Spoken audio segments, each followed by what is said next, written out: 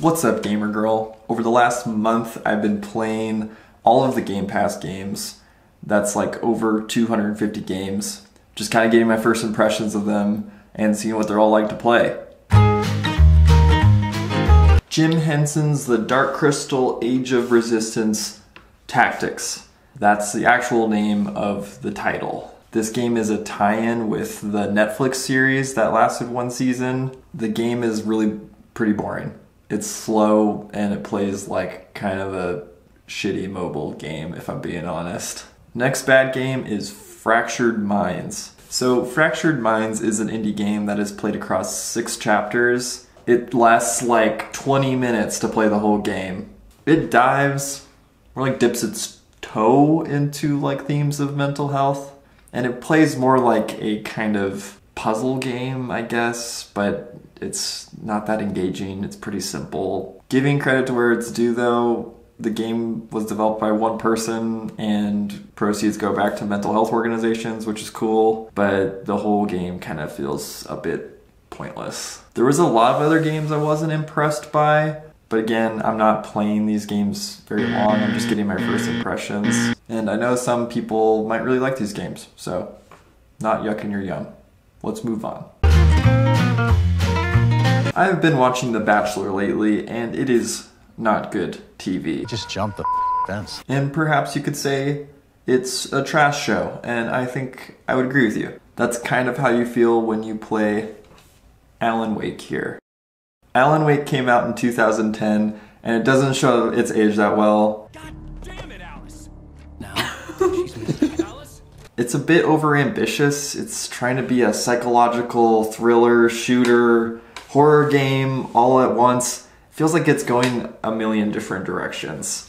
But it's fun. I don't know. Have you ever wanted to explore Disneyland but didn't have the money or the time or maybe you just didn't like Disney or you're more of a you're more of a Shrek guy, maybe. Well, if you didn't have the money or resources, then you don't need to because there's a game that perfectly fills that void. Disneyland Adventures.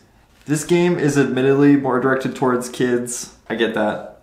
But all the character models have this weird, uncanny valley, polar express thing going on. Everything's really easy, and it's a kid. It's a kids game, so it's really light on your brain, which I appreciate. So you got the classics in here, including Master Chief Collection, Gears of War, Minecraft, Power Rangers. what is that called? Power Rangers Battle for the Grid. Classic game. I had never played Arkham Knight before this, and that one was super fun. Whoa. Golf Oscar 5 6. Dude, this, this is, so sweet. Why have I never played this? There's this game called Pandemic. This is a great game that really lets you role play what it would be like to live in a world that's undergoing a global pandemic. I mean, I can't imagine what that's like. And then we got Alien Isolation.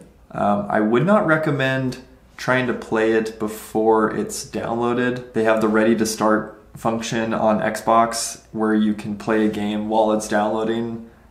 Um, it said you didn't really work it. that well for me.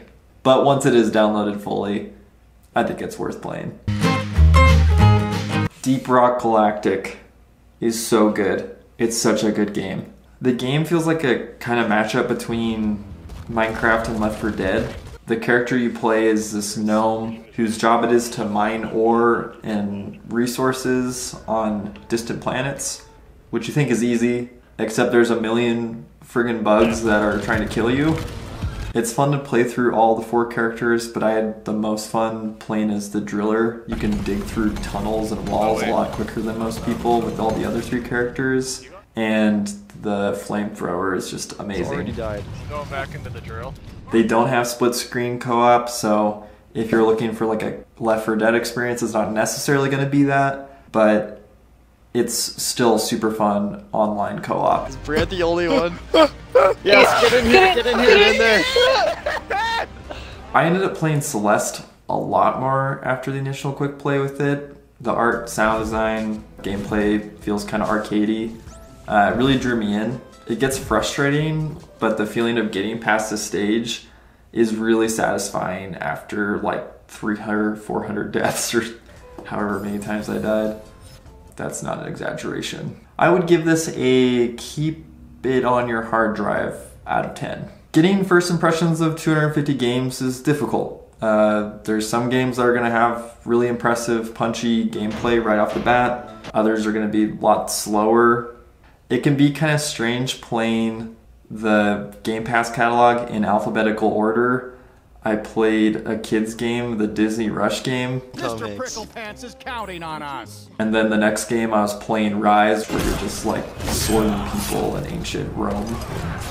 So I still recommend anyone pick up Game Pass. The selection has so many games that I'm sure you're gonna find something that's worth playing.